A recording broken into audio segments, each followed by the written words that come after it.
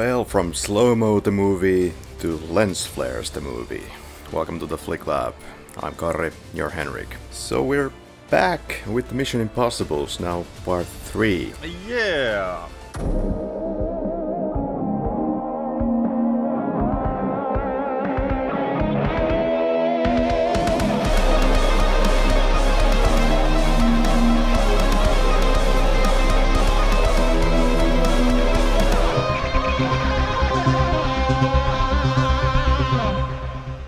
Following Mission Impossible 2, Cruise, well, some sources say was kind of desperate to save the franchise. He was spinning around a few directors, never actually being able to settle with any one of them. The biggest, perhaps, or, or the one that got the furthest here would have been Joe Carnahan, was the director of Narc, which was uh, Cruise Wagner Production House's production. Ah, and David Fincher was on the table before that. Ah, but I haven't. I wasn't aware that Fincher was in discussions. Yeah, that was exciting times. Unfortunately, not directing this movie here. Yeah. Instead, directing responsibilities would go to one J.J. Abrams, Yeah. to whom, if I if memory serves correct, this was the one that actually landed him into like like the Hollywood movie career. Yeah, uh, we've been asking basically some questions throughout these episodes. Mission Impossible 1, I guess at least originally we tried to kind of nail into what makes Mission Impossible 1 the Mission Impossible that we know. Well, obviously the answer is it, it, it, it kind of doesn't because the style keeps changing. But we did find some you know elements there that do carry on into the other films. In the part two, we were asking the question whether uh, this is a masterpiece or this is absolute dogshit garbage. And now in the third one, we're I suppose asking more or less the question: uh, Is this now the template of the rest of the series or the franchise, or not really? And what makes it so? And uh, honestly, I'm not sure if we are even now there, because the franchise just keeps re-innovating or, or changing or having a crisis of character. Yeah, yeah. To me, Mission Impossible 3 is perhaps the template movie of the franchise. Not in, in the sense that this was would actually settle down what the future installments will be, or even will be like, but in my opinion, this kinda sets the tone for the future uh, installments. We have kind of uh, like the later installments, in my eye, they, they have the the glossy, less lens flary approach from well Mission Impossible well two, but in my opinion three kinda like shows off the edges. It also takes the globetrotting adventure part from Mission Impossible 3 and finally, you know, ditches the suburbs from this franchise from this point onwards. Well, the Mission Impossible 3 would be the only one that uh, would even bother with the suburbs at all in, in this franchise. This is so crazy, Henrik. I don't know exactly what is being taken from where or what is the distinct identity of all these different agent adventures. James Bond is one thing on the Daniel Craig era. It definitely takes elements from Jason Bourne, and in a way, it is also its kind of own thing, but takes elements from Jason Bourne, then it's kind of being Bond some of the time. Then then we have Jason Bourne, Jason Bourne, and now we have Mission Impossible, which in my eyes, in Mission Impossible 3, and maybe kind of inherits it in, into the subsequent sequels, is the Jason Bourne-esque nature of it. A little bit more, like dare I say, a hell of a lot more realistic uh, than Mission Impossible 2, which I do like if you didn't didn't listen to the previous episode by the way. It's more like boots on the ground, a little more earthed. The action is quote unquote more realistic if you will. There's more character, there's more plot. Yeah, yeah, yeah, you have all that. But it has that Jason Bourne-esque, uh, I guess, grittiness in lack of a better better term. And uh, it does have maybe some more humor than the previous installments. So it tries to be funnier, maybe keeping a bit of that, you know, James Bond type of vibe there, kind of playfulness of the scenes, all in all. Is this now Mission Impossible or is this Jason Bourne? In my opinion, this most definitely is Mission Impossible. I would say this is closer to James Bond than Jason Bourne. Hmm. Uh, Mission Impossible 3, like you, you asked what has been taken from what installment to get here. In my opinion, not that much really. Like the carryovers in Mission Impossible 3 from the previous films would be, once again, in my opinion, Luther, Ethan as a character, but not as a ba- as a background, because Ethan's background is never touched upon. None of those adventures for the previous movies will ever be approached by these later installments. It will take the masks and it will take the most the, the, the voice modulator from the, from the two. But in my opinion, that's that. What then again the franchise will have from Mission Impossible 3 onwards would be the the globe-trotting nature. Mm-hmm. It would have the, the more finally nailed down team of Ethan. It inherits Benji from Mission Impossible 3 and then Benji sticks with Ethan for the next installments. So where there's that, at, at least now the team has three staple members. It takes the more more mm, at times jokey joke humor approach, or, or the franchise takes takes from this one. Also, following the third movie, I do think that that the franchise gets more gadgetry Mission Impossible 2 uh, had no gadgets at all, if you don't count the mask and the voice modulator. And the, the sunglasses. Extreme, still quite, quite low tech video camera eyeglasses from Mission Impossible 1 and and the the watch TV monitor thing that they have had in one and the exploding bubblegum. They are all gone. Yeah. Not returning. But what, in my opinion, in spirit gets carried over from three is that the more kind of like the, Ethan starts to rely on gadgets more and more ever since Benji joins the, the, the, the team. And also the gadgets kind of get more and more sci-fi-ish, more fantastic. You especially is, is it now Ghost Protocol or Rogue Nation where they break into Kremlin I guess it was was like Ghost Protocol, uh, and, they have like that hologram wall which they project the hallway into, and then they sneak behind it, try to uh, approach yeah. the Kremlin guard. So those type of gadgets start to seep into the franchise, and I kind of see that you know the the gadgets that we have here at three are kind of a like like proto stage for all of that this is a kind of a point where it starts to chill up a little bit, uh, starting to get a better sense of what's the kind of theme of the IMF, like you said. But then again, character of Ethan, when you're going to start going more character driven, which is, I believe, what the Mission Impossible 3 is doing, character of Ethan, it's kind of always been kind of empty in all of these movies. We don't know anything about this guy really, and it's okay. It's okay, but it's fascinating in a sense that we invest so much in these movies where we don't know anything about the, the lead character after the movie. He, he's he's Ethan Hunt. He's Tom Cruise man, and that's about it. Also, they have made the character more serious here, and I I think he barely laughs or smiles anymore. Well, he does that does do that before the mission calls him again. But uh, yeah, it's lacking a bit in Cruise's typical sparkling personality that we have come to see before. In in the previous episodes, I've kind of made the case that Ethan Hunt's persona is some type of response always to what is Tom Cruise's public image at the time.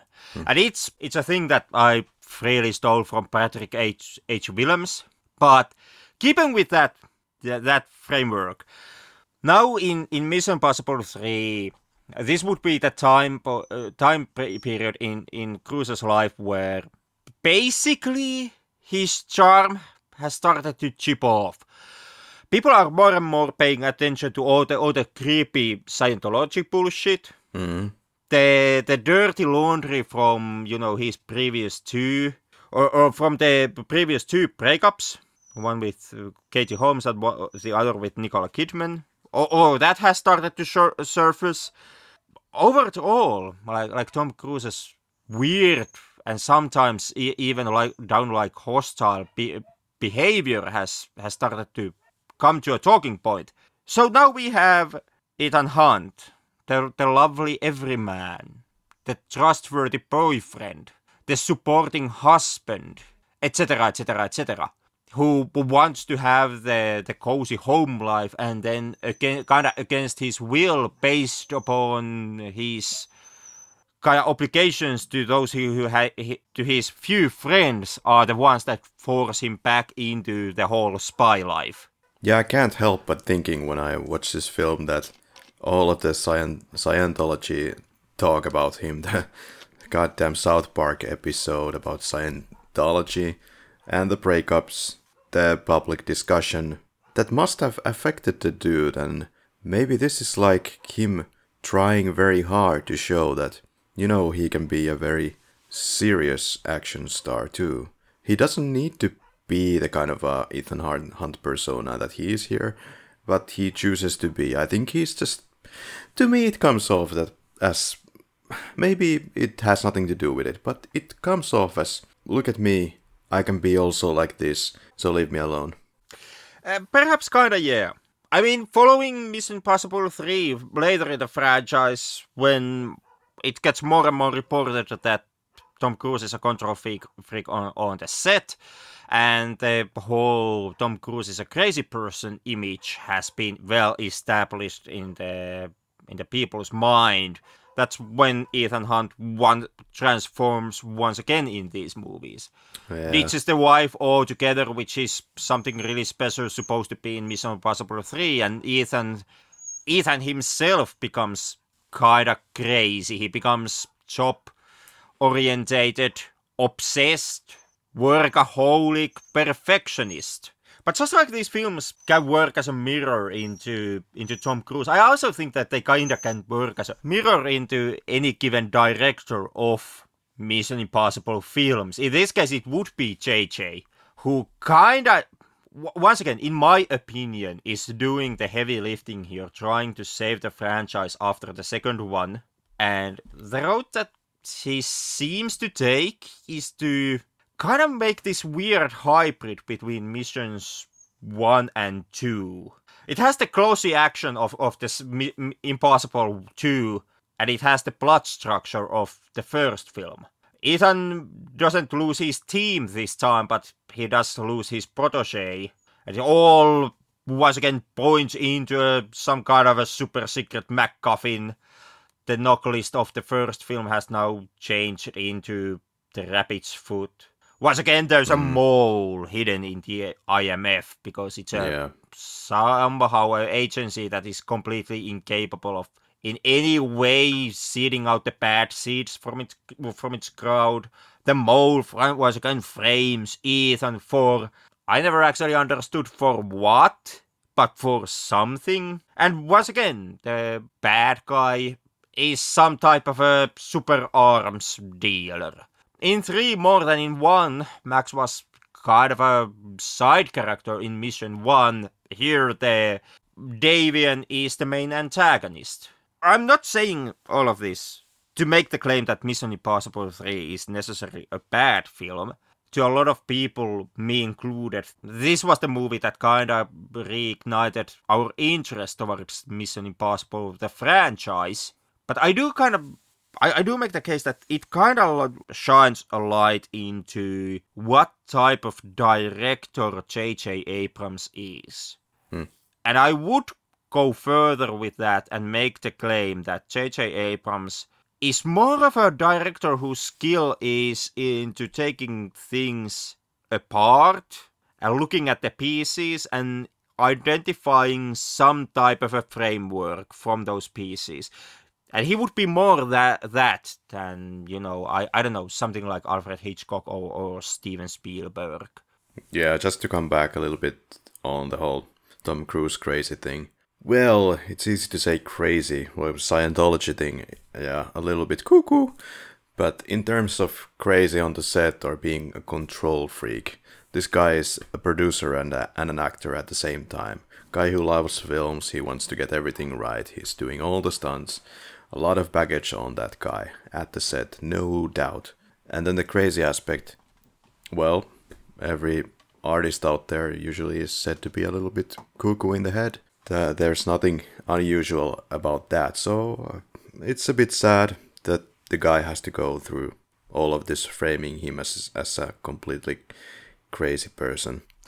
It would be if it wouldn't be so much Tom Cruise's own doing. The Scientology bullshit is, is its own thing. Mm-hmm. But even outside of that, like you wanted to, like you point out that he's the star and the producer. A lot lies on his shoulder, fair enough, but he's still the guy who was too intense for Thandie Newton on, on the set. He's still the guy who, for no apparent good reason, decided to almost poke his eye with a knife. Mm. At least the scene that Thandie Newton was saying in detail about, Tom Cruise was saying that you're getting all the shittiest lines in this scene, ranting on about that that wasn't, you know, anything bad towards her, but somehow she took that as a very intense moment, even though it really didn't seem to have anything to do with about her. But then she started to get a little feel a bit un- uncomfortable. Okay, fair enough. I wasn't there. I don't know. But yeah, okay, intense at the sets. And then there's the other Cruise side that I don't I willingly ignore because it doesn't have anything to do with his business per se. Guy who believes in Scientology uh, or is associated with Scientology and says that psychology is a is a bunch of humbug. So. Yeah, and I don't claim that, but or I, I would actually claim that that's not something that does not show up in his business. My opinion that actually does show up in in his work. The, the uh, somewhat hazy shit that he does or has done inside the church of uh, church actually has sh- shined up a light upon well other people's work. Nicole Kidman's career cup perhaps took a bit of a nosedive after you know the whole Tom Cruise debacle. If some nothing else, you can actually see the effects, at least in my opinion, in mm. the others. And you know the following Nicole Kidman fe- features, like or, or his public image as a crazy person does not just limit into Scientology itself. It's it's also the whole jumping on a co- couch Oprah stunt. Oh my god, that well, yeah, yeah, Cra- crazy going, but quite, yeah. quite, quite overplayed the whole thing. And it, perhaps it, overplayed, yeah. But yeah. once again, if you ask, like, where does his public image come from? It comes from stunts like that, in front and off the, uh, behind the camera, and yeah. off the camera, and off the set. It's not like it's it's not just that we all look at the fact that Tom Cruise is part of Scientology. It's like eh, it's not just you know that South Park happened to make extremely funny episode about Tom Cruise, and that would be just you know the explanation into his public image. John, Tom Cruise himself has done a considerable damage sure. to his own, own own personal public image. And fair enough, you know, Tom Cruise is a private individual, and if he wants to burn his public image to the ground, he's free to do so. But at the same time, you know, well, okay, mm. everybody sees you as a crazy person. You can't blame everybody else for that. But the main crazy person in this film is played by the late Philip Seymour Hoffman, playing indeed the character of Owen Davian. In the whole center of this thing is the rabbit's foot playing as the MacGuffin, and it is in fact such of a MacGuffin that you are not even shown the scene where it gets stolen. And instead, at that time, you follow these two random characters in a car talking about cats. and we never get to know what the rabbit's foot is. That's maybe not important, but it seems to be some kind of a bioweapon if you go by the packaging of things. Same thing as in MI1 and to a lesser extent in MI2 is that well, is is that Ethan helps the criminal get what he wants. to add to the list Yep. of similarities, and then has to make him lose it. Yeah, but maybe if you want to say anything about Philip Seymour Hoffman, definitely you feel like this is a character that you should be avoiding. The yeah. So you talk about Philip Seymour Hoffman or Ethan Hunt, who are, in fact, like because Mission Impossible 3 really is a movie where a sociopath is acting against a sociopath. That's an interesting take. I've heard some rumblings of this sort, but can you enlighten me? What the hell? Well, name one person that Ethan cares about, if not including his wife in in part three. Particularly cares about, I don't know, his team. Yeah, in any way. His team who wants to show, join him on this rogue mission as, as well. Well, not really. Like, when has he actually ever done anything for his team? He gets the team killed in, in the first one. In, in the second one, he Kakara is like, "You stay alive, I get the vaccine," and then yeets the fuck off. It's kind of like, "Yeah, stay with your abusive boyfriend." Okay, uh, yeah, well, that's a take. Yep. If if if something Mission Possible three tries to humanize Ethan Hunt, perhaps as a, some type of a facelift for Tom Cruise himself, who also needed a bit of a humanizing at this point for his public personal image. Yeah, what what better subject than to have the wife in uh, mortal danger? Yeah, but it's it's like the first time that Ethan has actually cared about another person, risked the mission for another person. He he does like fuck up the mission in in part five for to save Luther, but that's just something that is only coming up. Or was it part six? Hell, when actually does Ethan start to care about his teammates in these movies? I don't know. They're about to blow to pieces in Fallout, but then uh, Luther saves the day with the lady who gets rid of the bomb. Yeah, yeah. There's there's there's a movie where Ethan gives nuclear warheads or something to the bad guys because they are holding Luther as a hostage. Uh, could it be then the Fallout? I. Uh, Yeah, I can't, can't remember either. But that that's like the the reach of exactly how far Ethan cares about people. Cares about his wife, then quickly divorces he, her after the movie is over, and yeets her the fuck off, and then you know X number of movies in the future, he actually cares about Luther. Yeah, Luther is an interesting discussion point here. In in that one movie, yes, there are these warheads. Tom Cruise or Ethan Hunt saves Luther, and then uh, that results in the bad guys getting the warheads or whatever weapons they were. Very important weapons, very important stuff. And then in this movie, it's then uh, Luther again. He, he Luther basically goes rogue here because he he is the reason why Ethan's wife almost gets murdered. Because when they're on the plane and uh, Philip Seymour Hoffman is you know, almost ditched out of the plane, Owen Davian, Luther goes on and shouts out the name of Ethan. We can do this much better. You know, he doesn't basically give the home address, but he just messes it up badly. Yeah, then everybody messes it up badly, or at least goes rogue Yeah, in this one. uh, that's the thing with this. I like s- show me one agent who stays true to IMF. Laurence Fishburne not in in standing. Yeah, what is it though, Henrik, about uh, this movie in particular? I feel that this is this has the quality of being forgotten in 24 hours. This movie. The problem with these movies is often that it's it's a place of spectacle after the other, but with with little prior audience prepping before before that and justification for being there. Kind of this globe trotting sickness. Again, this is not such an issue as far as I see it for MI1 or either MI MI2. MI3 just, you know, boom, we're here.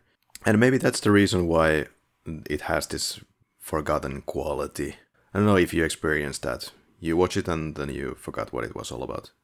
I don't know. To me, Mission Impossible Three is perhaps the film that I remember the best Okay. from this franchise. Uh, mostly because to me, Impossible. When I saw it the first time, it felt like like I, I had this oh shit whoa that was great. Me during during my first viewing. It's uh, Mission Impossible Three is the one that I've seen the most of times, and it's also the movie that the older I get and the more times I see it, kind of less I care about it. At this Mm. point, I'm kind of done with Mission Impossible 3. But, you know, when it came out, I didn't hear anything. And then all of a sudden, it, it was in theaters, and I finally checked out when it came out in, on DVD. And it felt like, oh my god, they actually managed to save this franchise. Okay. And perhaps because of that, it's the one that I remember the most from all of these films. The, the ones that I I usually forget immediately are Ghost Protocol and Rogue Nation. The two movies that I can't differentiate from each other. Like, yeah. Ghost Protocol has has the Dubai scene. It has Samuli Edelman in it. and it introduces Jeremy Renner. And that's as far as I can actually remember anything from it. Yeah, that's my thing with especially parts four, five, six, to some extent with with three. I can definitely remember one and two quite clearly. There might be some reasons for that, of course. I've seen MI2 countless times, but there is some quality about three, four, five, six where I just go back to it every now and then to check what the hell did I actually see, and I just watch them again and then I forget them all over again. Could be just saying something about the quality of these movies ha- having so much jam-packed stuff and action scenes that, uh, and then just popping up all over the place around the world that it's hard to, you know, have like some kind of a complete picture in your head. Why was this character here, and then why does he pop up on the other side of the world there? But yeah, I think there's some qualities about this movie that I kind of don't like. The, like the, the last shots of this film, the I get this kind of half-assed finish mate of of this movie in the third act. Your main villain gets crushed by a car. I know it's very intentional. You don't want to do the whole spectacle that you had in, say, MI2. And the crew was like, what the heck, you don't need to do that every time. Fair enough. But, you know, you have this super bad villain and then he's just crushed by a car. And that's it. Good job, guys. And then the last shot is where the wifey and uh, Ethan just walk away from the camera and the team is hurrahing in the background. Yay, go on your honeymoon. There's different inter- interpretations to this, but you know, they're just walking in the slow mo shot away from the camera. And it's not something like, even in MI2, you have these lovebirds together and they walk into the park and the camera crane pulls back. I think that's way cooler way to end your MI film, but yeah. I, I don't know. I, I hated the ending of, of MI2. It, hmm. it, it was technically more okay, more complex. I, I give it that. But at, at the same time, it was like, you know, Ethan is at park. There, there are the children at the background because Ethan stopped the super plague and saved the world. Hmm. Saved the children. So now you see the children, all the lives that Ethan saved. It was kind kind of like, yeah, I I see what you're doing, Woo. No child left behind. I see what you're doing. God damn. But that being said, yeah, the way how Mission Impossible 3 ends is not great either. I'm I'm on board with the fact that Davian just kinda dies. And the mole guy here, the IMF mole that we have, whose hmm. name I also can't remember, just kinda gets shot. I'm oh, I'm kinda on board with that. It's once again it's it's an attempt to, in my opinion, to fuse together the, the first two movies. Ethan and Davian has a fight, much like Sean and Ethan had a fight in two. Whereas they, they didn't really fight in the part one. So they take the fact that the villain and the hero have a fisticuffs fight from two, and they tries to take the kinda life just casually ends without a fanfare thing from the first, where it was just kind of like you're alive now, blink, you're dead now, life is cheap. Cold attitude, and it tries to fuse them together so that they fir- at first they have a fist fight, and then Davian just gets run over by, by a car hmm. at the mall. Just shows up and gets gets shot. No big deal there. Yeah, there's not a lot of big deal anywhere in the film, I would say. I don't know if it's the lack of artistic freedom or lack of ideas from JJ. To me, this movie just feels like it doesn't have a lot of artistic freedom or anything much artistic to say. It feels like I I think hackneyed is a good word, like over familiar through overuse, traits, repeating too often these traits that you see feel in these films, and it feels very much like a Jason Bourne film, but in an IMF setting. And it feels like the franchise is again having an identity crisis. Uh, crisis or not, it's it's changing its identity. And also, I, I agree, it's a good idea to change the director for each movie, if you're then given pretty much free hands in the artistic direction. But that is either maybe not allowed here, or the first time director doesn't have you know as as of a distinctive idea where to go as something we've seen before even from De Palma. Uh, from from that point, you know, uh Please give me an example. How Abrams does not have an artistic freedom here? What what gives you, you know, the impression that they are tying Abrams's hands? Not necessarily try, trying to put his hands anywhere, but it feels like we've seen this so many times before that it's it's very reminiscent of all the other early 2000s action thrillers and blockbusters. Like I've mentioned the change Jason Bourne or even the Pierce Brosnan goddamn James Bond movies. It's it's in that territory, in that mixed territory. Yeah, I'm asking because my take is that that's just Abrams. Okay, yeah. Up until this point, at least, the franchise itself has been extremely open to its directors. Mission Impossible franchise ha- has at least been a case where if you join up to direct it, you can have uh, Tom Cruise in and make a Tom Cruise spy film. Hmm.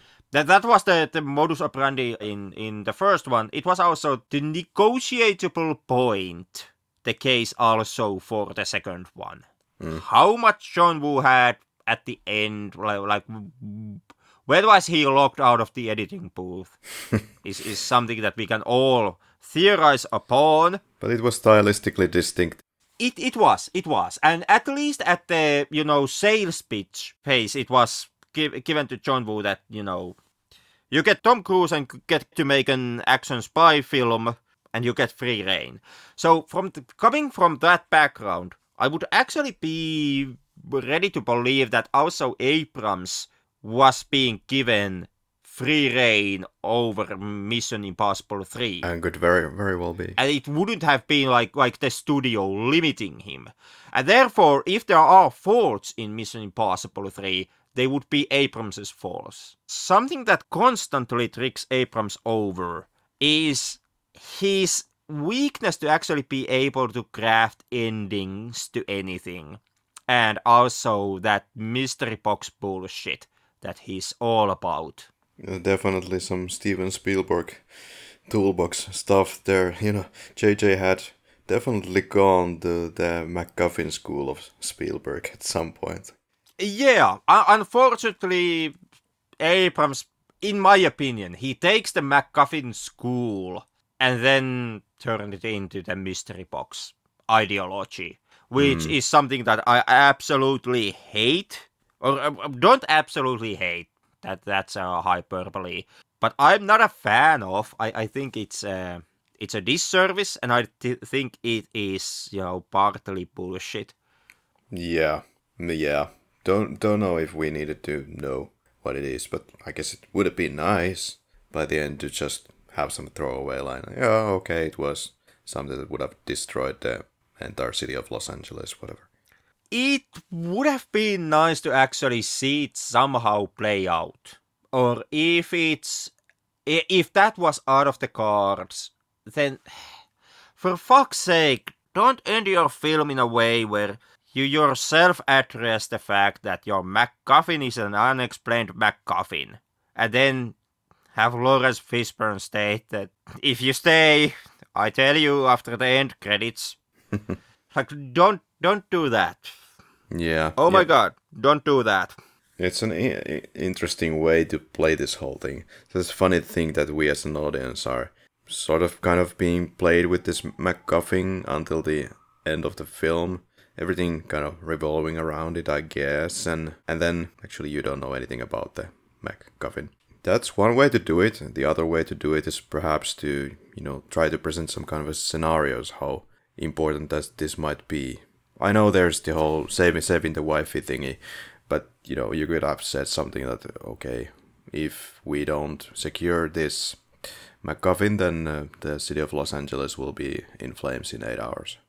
Yeah, that could have been. I mean, once again, to look at Spielberg, Raiders of the Lost Ark. The lost titular Lost Ark is a MacGuffin for the entire film, and what it actually is, what it actually does, never actually gets explained in the movie.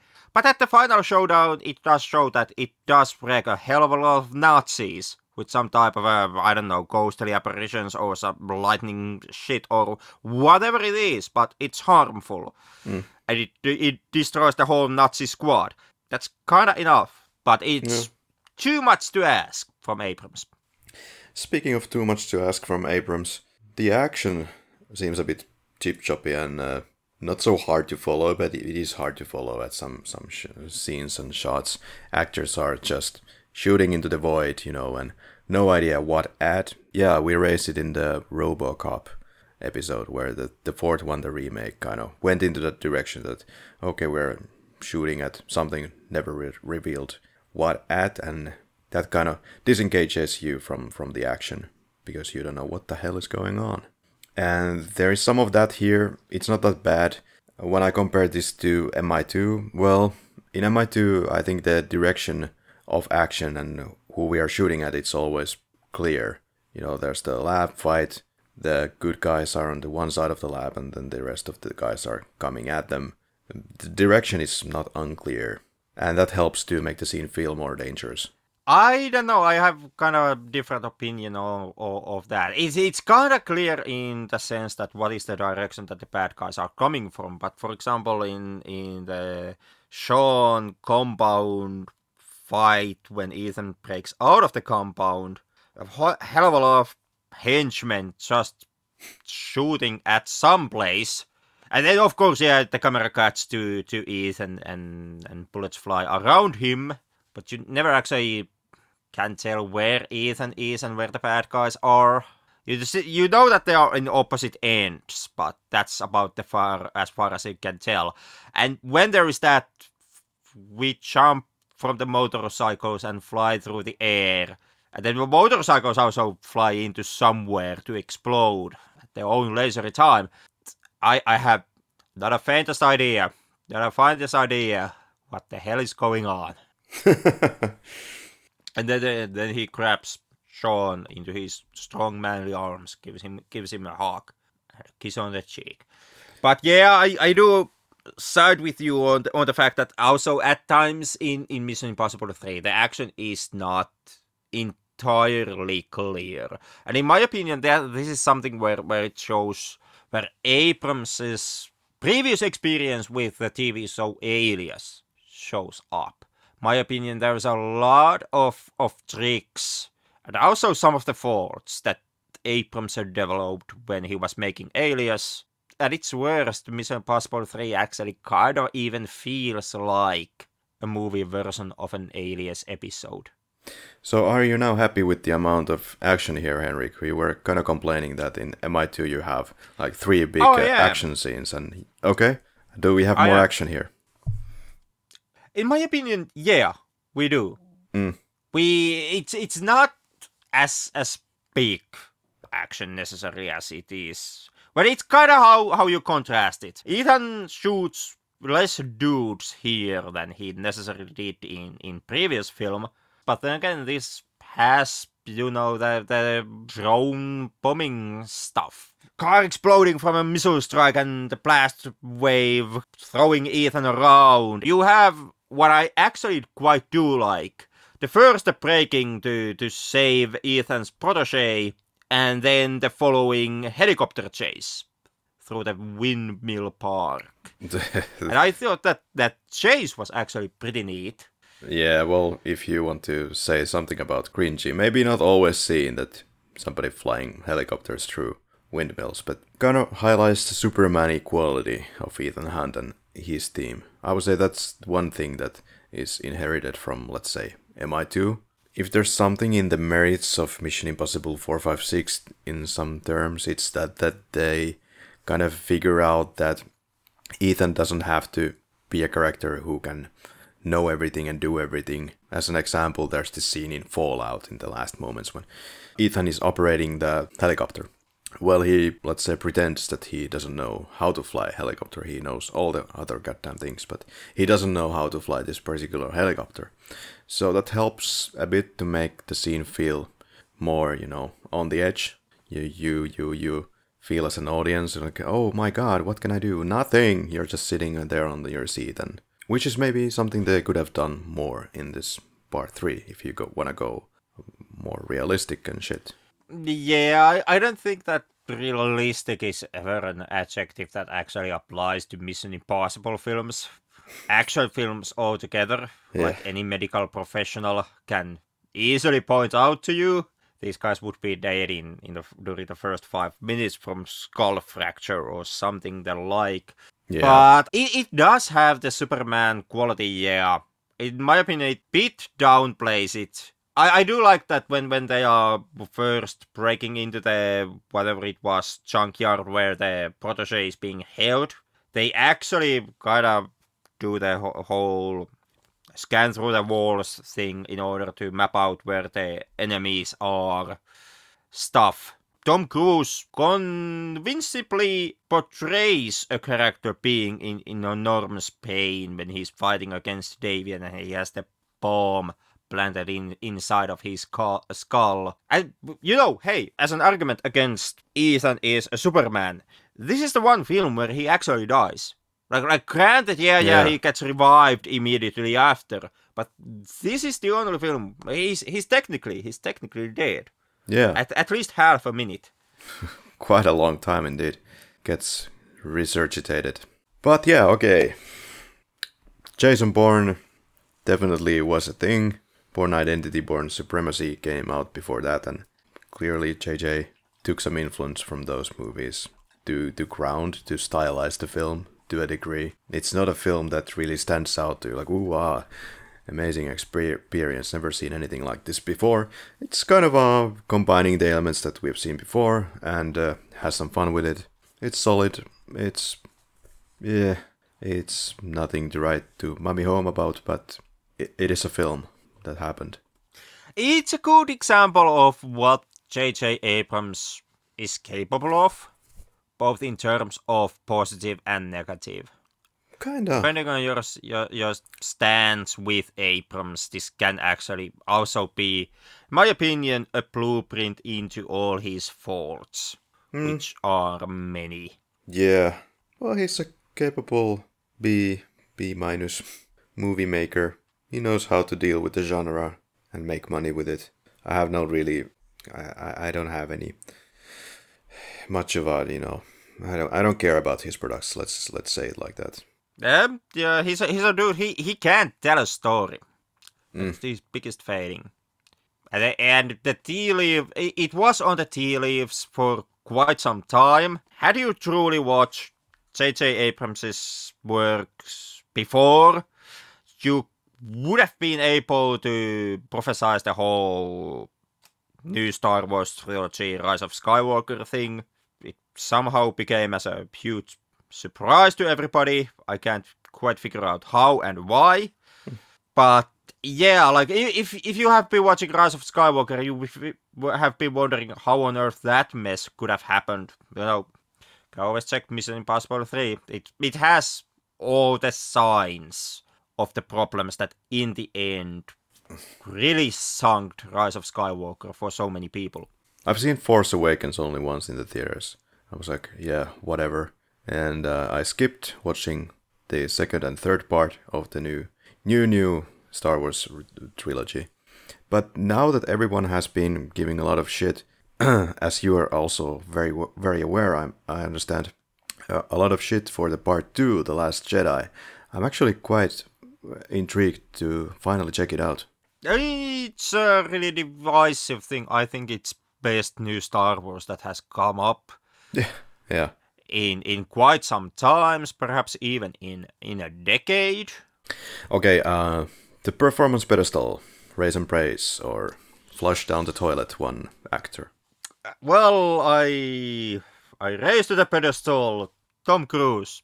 Oh, what a shock to the system. Yeah, there, there's, there's these films are about one person and one person only. Tom Cruise did this amazing stunt on a Mission Impossible film. Tom Cruise broke his ankle doing this Mission Impossible movie. Yeah, yeah, Tom Cruise, Tom Cruise. Let's go with Tom Cruise. What worked? My opinion, the action, at times the the, the spirit of, of the movie. It's really hard to say what really, really worked. It was really hard to put something together about this film all together. It's recycling things, putting elements in a blender and providing you a new movie. And that's gonna be the formula from here on in. So, I guess Blender worked really well that day. What didn't work? Well, for me personally, the, the single biggest thing that, that didn't work was was Abrams's mystery box.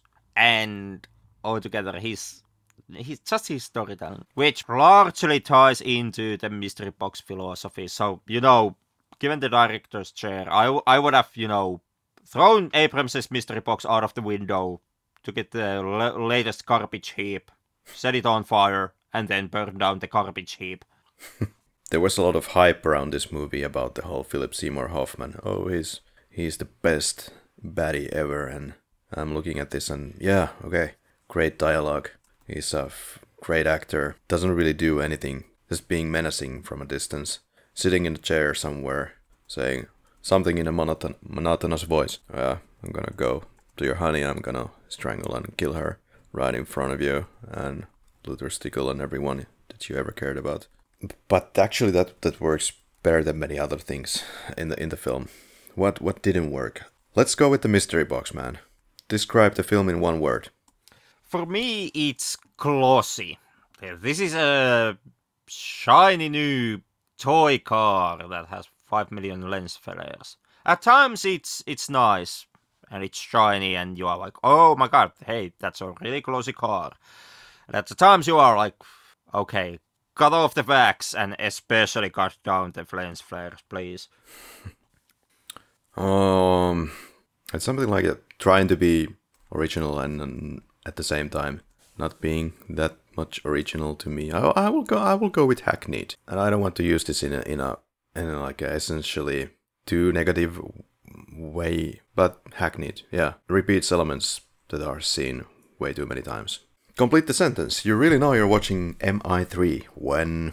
Promise me you'll stay, and I'll tell you in unspecified time in the future. Yeah. Well, you really know you're watching Mission Impossible 3 when all you remember about the film is a guy in a monoton- monotonous voice in a chair hanging from an airplane. Did you like the film? Yeah. Like I said previously, my kind of take with the movie has changed. I'm not nearly anymore as as taken by it as I was when I when I first saw it. Uh, these days, I'm kind of actually done with it but I'm not saying that I don't enjoy it.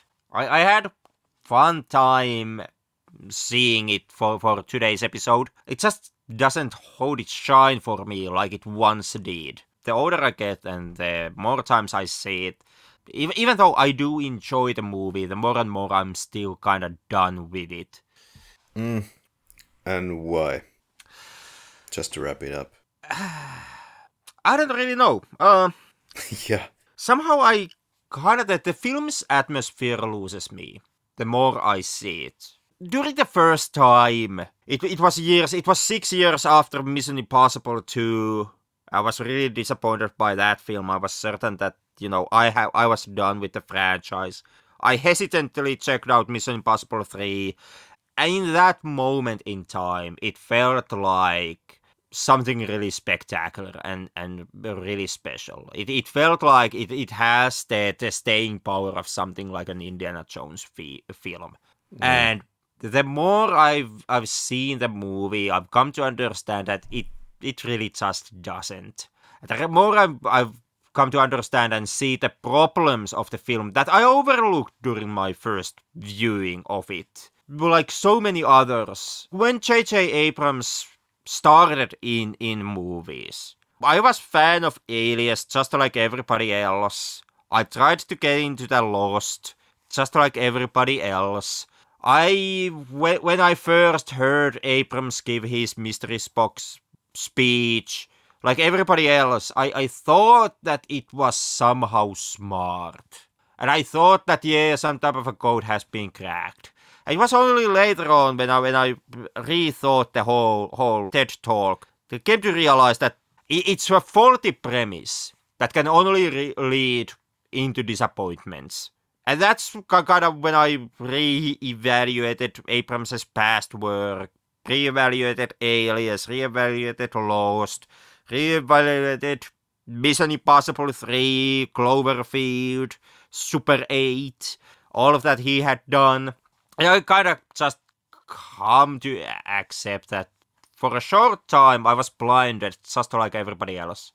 Yeah, I think it has more public focus because of obvious reasons, because of being called a Mission Impossible film. I think it's a like expertly done summer blockbuster. But the thing with these summer blockbusters and with many of these Mission Impossible films is that honestly, I, I don't know if you need to revisit them. They are, you know, good popcorn stuff for one summer. Watch it in a theater once and be done with it. Yeah, sure. Uh, there there are great actors in these movies. Yeah, I, I'm I'm not finding the the big deal about this film. I, I think it's a decent film done by extremely talented filmmakers. For me, it's kind of the opposite to you in a way. I saw the trailer originally. I was looking forward to this movie because I liked MI2, and when I saw the trailer for this, I, I could instantly see where this is going in. I didn't even care to see this movie because I could see that they had lost the plot completely as far as I was concerned back back in the day. And I could hear the Mission Impossible theme tune being very reminiscent of the original one and uh, therefore very reminiscent of the original 60s TV show, 80s TV show theme tune. I, I could see what they were doing there, you know, calling back all the fans of the original ones or the people who preferred the original over the second one. And I was like, yeah, no, they're gonna scale it down, they're gonna tone it down. It's not gonna be what I want. but yeah, it turned out okay, but it's not my thing. Watch Jason Bourne. Watch Casino Royale. Did that make sense? Yeah, yeah. Okay, would you recommend the film? I honestly don't know. I I, I don't have I don't have your problem with the Mission Impossible franchise or problem air quotation marks. I I, I do have films in in this franchise that I I do really like and that I can kind of rewatch. But like like I said, you know, part three has has lost its shine on me. It's it's not a bad film, despite all the Abrams. If if you can stomach it, well then, uh, in my opinion, it's at times overtly lens flary but enjoyable little action fiesta. But it most heavily is on the popcorn end of of the franchise. Um, no, I, I wouldn't recommend Mission Impossible 3. I would say that would you wanna check out Mission Impossible movies? My, my recommendation would be start from Fallout. Okay. And come down from there. Six, five, four. And if you still want more, then check three. It's still more of the same. Like it's it's Fallout esque movie but this is so early in the pipeline that if you liked Fallout, it, it can kind of give you something. It can perhaps give you an okay experience, but it's not gonna really scratch that itch. And therefore, like from Fallout to to you know Rogue Nation, Ghost Protocol, perhaps you know you have come down enough steps so that well part 3 can do something for you. If you haven't seen any Mission Impossible movies, don't start with this one. Hmm. Yeah, yeah, yeah. That's that's a tough one. If I were to recommend Mission Impossible movies, yeah, wouldn't start from here. What my brain is also kind of gravitating towards is is uh, Fallout, even though I, I don't think it's uh, such of an amazing film that some people say it is. But heck, you know, cool locations, nice stunts. And it's kind of expanding on the whole experience that the franchise has had up to that point. So, you know, technically it's it's it's on the better end of these films.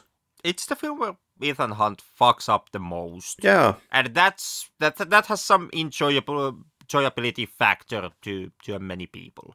Yeah, and cool, cool it, it, that it also has these cool arrivals to to places, Halo jumps, and yeah, I'm all for that. But to recommend this, uh, uh, to justify why to watch this out of all of these, or to watch it in any case, uh, yeah, it's it's it's it's, it's okay, but why watch this when you have a whole bunch of libraries to check out something more worthwhile? No, why recommend? No, no, no. Yeah, like like you said, if you would have to choose between like Mission Impossible 3 or checking out Jason Bourne, just watch the first three Jason Bourne films. Don't don't touch the fourth one. That fucks everything up. but the, the first, the, the original trilogy is is way better than Mission Impossible 3. Yeah, yeah, if that makes sense to our listeners. Yeah, yeah, and, and Casino Royale, better film than Mission Impossible 3. Yeah, someone would then say that apples and oranges, guys, but fair enough. But that's where I leave you. Uh, so, I guess the moment of reckoning. Put the films in order of preference: one, two, and three. Uh, for my end, one, three, and two. Uh, from my end, two, three, and one. And dear listener, would you recommend Mission Impossible 3? Come tell us all about it on our social media pages. You can also share this episode and the others with your friend who seems to be a big Mission Impossible 3 fan, obviously. If he absolutely hates Mission Impossible 2, then he will enjoy me ranting about it in the other episode. Any thoughts before we get going here? No, let's just not check out the next three Mission Impossible films because I think kind of have a feeling that I've done with the franchise for a moment. Uh, yeah, this episode, making this episode though, made me think that this is very an experimental phase, if you will, of, of the franchise, and then because of that, you know, you could explore potentially in the future then what is, what is the magic sauce in 4, 5, and 6, and whether they are absolute carbon copies structure wise or not, or if they really have their distinct identities like these three movies when compared against each other, at least. I don't know. Could be a could be an episode, but it's definitely not gonna be an episode now. What are we gonna do next, Henrik? I guess something movie related. Well, I guess I'm gonna go to sleep now. Have a good one. See you in the next one. Until then.